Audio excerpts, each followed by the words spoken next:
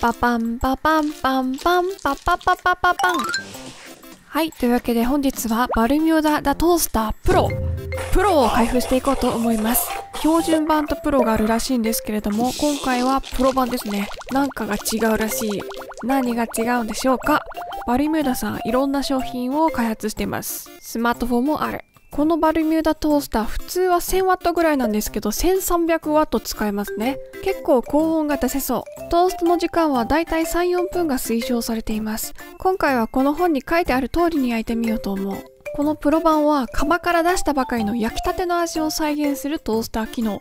サラマンダーモードっていうのがついてるのでプロ版だそうです。高級品なのでスチームもついてます。6つのモードがあってトーストモード、チーストモード、フランスパンモード、クロワッサンモード、それから普通のトースターと同じように水を使わなくて、170度、200度、230度で焼くモードとサラマンダーモードがあります。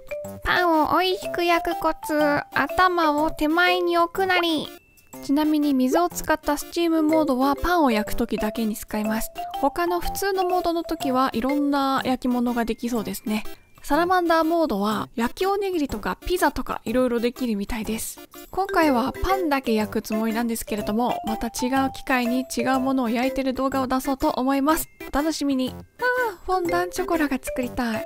というわけで、やっとこさ開封していこうと思います。ビリビリっとめちゃくちゃ強力なテープでついていらっしゃる。かっこいいデザインだ。黒いところの質感がなんか恐竜みたいでいい。パカパカ。すごい。なんだこれ。ペリああれえあら大丈夫だ。問題ない。よーよー。あーどうしよう。まあいっか。ということでね開けていこうと思います。めちゃくちゃ強力なテープでついてるんだよな。うん。あよかったよかったよかった。治りました。大丈夫です。えフロントの方を手前に置きます。そして網ですね。これは四角い方を後ろに、出っ張りがちっちゃい方を前にします。パン受け皿ですね。パン粉受け皿。ナンバープレート。装着。バルミューダの裏の顔。めっちゃ綺麗。テゲテゲテゲテゲドン。5cc。5cc。500円が入りそうな穴。実は今回特別ゲストに来ていただいています。こちらです。サクッと仕上がるコンパクト回復 1000W ト。ースターですね。普通のもう廃盤なんですけど市販で3000円ぐらいのトースターです。今回比較するために倉庫から引っ張り出してきました。操作性は至って簡単。ずっと安心安全。1000W なので焼きの分数を変えるだけで調理ができます。あ適当に回したら戻らなくなるあるある。普通のトーストちゃんの方には空焼きしてくださいと書いてあったので2つとも空焼きしていこうと思います。なんかバルミューダの線くぐってるやつ。チャッチこっちの普通のやつの方はゴムでできててちゃんとできてますね。頑丈なので何回も使えそうです。うむこれあんまり引っかかる人いないと思うけど私は気になりましたね。さて全て入れて空焼きをしていきましょう。あ幅は一応バルミューダの方が広いです。奥行きはそんなに変わらないかな。水を注ぎます。うおお表面張力。まあバルミューダのお賽銭箱に水を入れます。パカ。から焼きはだいたい5分ということなので5分ぐらいやっていきます。もうすぐ春だけどまだまだ寒い日が続きますね。花粉も飛んでるしお体気をつけてお過ごしください。焚き木をしている時に気づいたこと。普通のトースター発熱がすごいですね。バルミューダは結構近づかないと熱くない。いいですね。断熱性が高まったということでしょうか。空焼きしている間にパンを切っていこうと思います。物差しがないので今回はこのコップの幅にしようと思います。ジョギジョギジョギ。オッケー。ほいっと。お？見なかったことにしましょう。はい。こちらはコップぐらいの幅でなりました。パチパチパチパチ。というわけでもう一個切ります。今回は、まあまあうまくいった。オッケー。コップの幅ですね。というわけで4枚切りました。まず最初に挑戦するのはバタートースター。普通のトースターです。あれ、なんかちょっとやばいことやってる。十字にまずは切ります。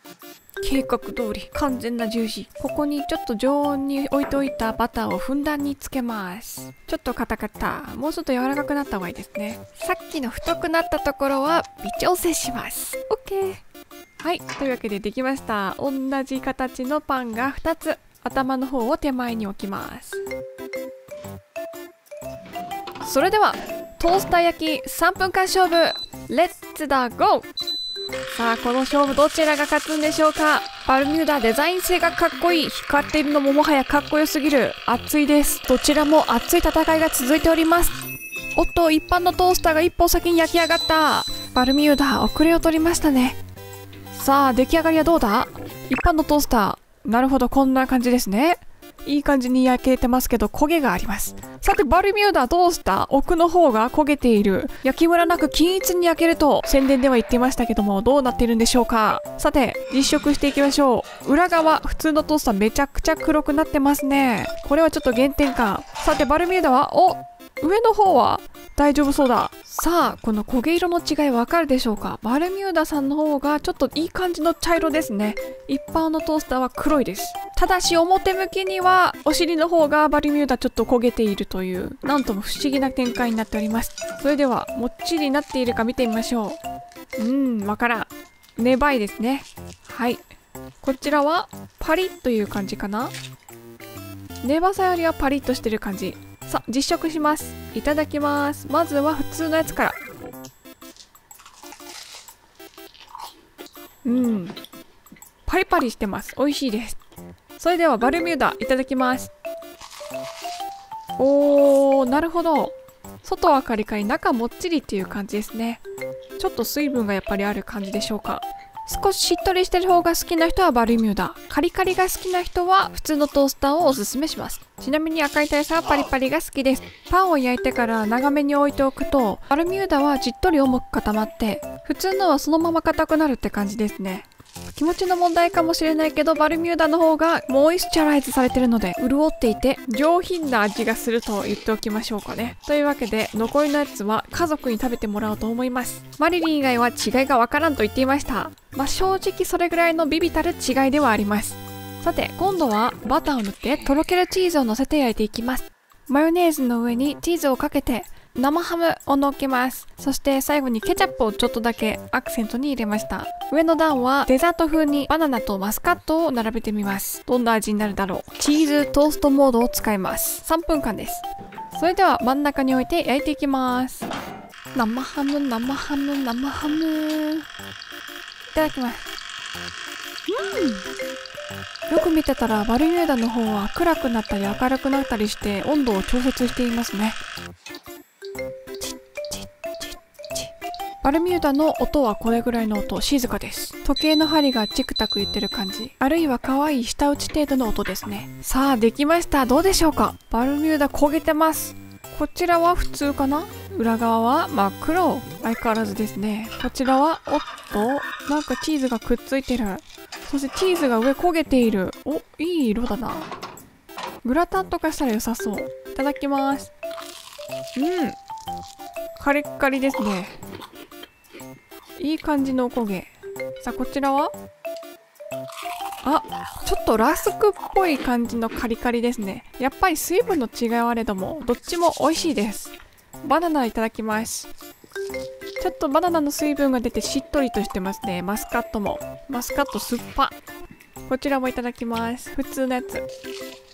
あーやっぱり普通のトースターの方が固めにできますね。これも家族にお裾分けちょっと今フランスパン持ち合わせていないのでフランスパンはパス。クロワッサンを焼いていこうと思います。幸せのクロワッサン。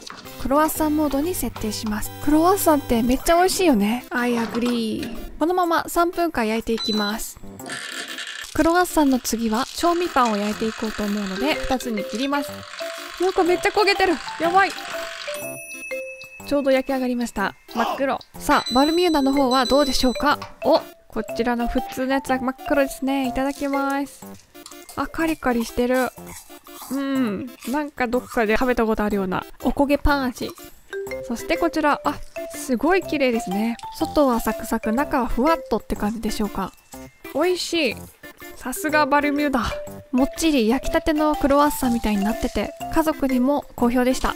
それでは最後に調理パンを焼いていこうと思います。今回はサラマンダーモードっていうのを使ってみようと思います。これ後から気づいたんですけど、サラマンダーモードは仕上げて使うらしいです。なので、一回少し焼いておいて、で、最後の1分間30秒間をサラマンダーモードで焼き上げるっていうのが良かったみたい。ちょっと失敗しました。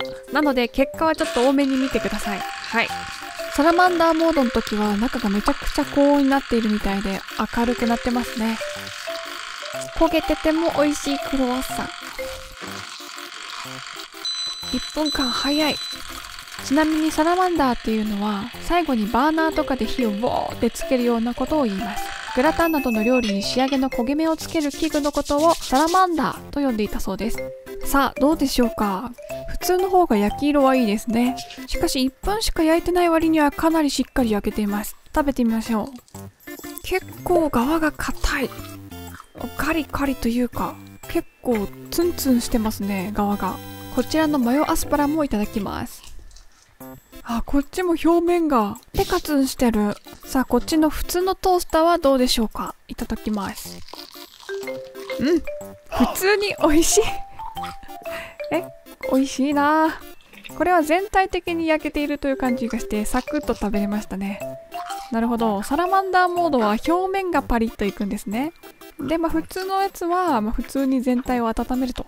テカテカツンツンふわふわパリパリかな。まあ、サラマンダーモードは料理の調理法を選ぶと思います。ピッツァだったりとかグラタンだったりとかには最後の仕上げとして30秒1分ぐらいはいいのかもしれません。他にもねバルミューダさんのおすすめの調理法がありましたのでいろいろやってみたい。フォンダンショコラやってみたい。というわけで本日の動画はこれまで最後まで見てくださってありがとうございました次回はバルミューダ携帯かポットのレビューをしようと思います。時々生放送もやっているので、ぜひ遊びに来てね。それではまたね、バイバーイ、おつぴ